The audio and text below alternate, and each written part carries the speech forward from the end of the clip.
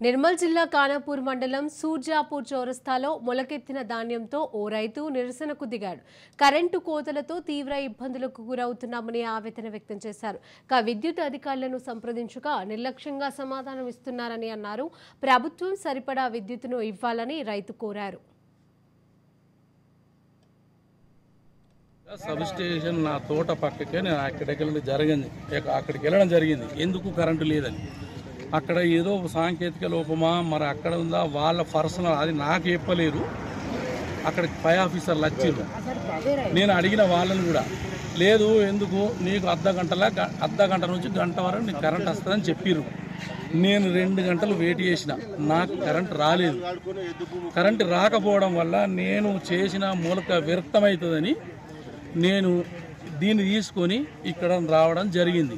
ఒకవేళ వాళ్ళే ఫైర్ ఆఫీసర్లు వాళ్ళు అక్కడ ఉన్న డిపార్ట్మెంట్కి ఇట్లా ఇవాళ కరెంట్ రాదు రేపే వస్తుంది దానికి ప్రత్యామ్నాయం నేను చూసుకోమంటే నేను ఏదన్నా చూసుకుంటుంటుంది వాళ్ళు ఏమంటుంది అర్ధ గంటకు గంటకు దానికి వస్తుందని గుమాయించడం వల్ల నాకు ఖచ్చితంగా దానికి కొంచెం ఇబ్బంది అనిపించింది.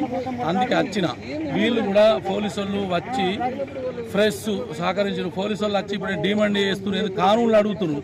నేను కానూన్లు ఇక్కడికి ఎందుకు వచ్చినావు? అక్కడ పో ఇక్కడ పో అని చెప్తే పోలీసులు సహకరించాలి కానీ రైతుల మీద ఇట్లా డిమాండ్ చేయడం కరెక్ట్ కాదు. పోలీసులు దాన్ని ఖచ్చితంగా వెనుకకు తీసుకోవాలి. వాళ్ళు వచ్చి నన్ను డిమాండ్ చేయడము బెదిరించడం ఇది కరెక్ట్ కాదు. ఖచ్చితంగా కరెంటు సమస్య.